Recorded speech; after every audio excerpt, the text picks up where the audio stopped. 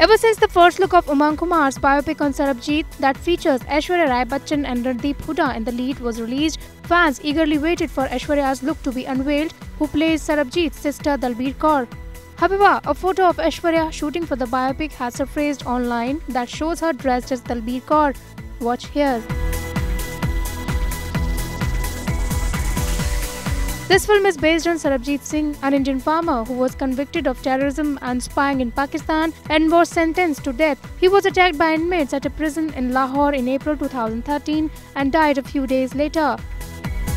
The film features Randeep Hooda as Sarabjit Singh and it will release on May 20 next year.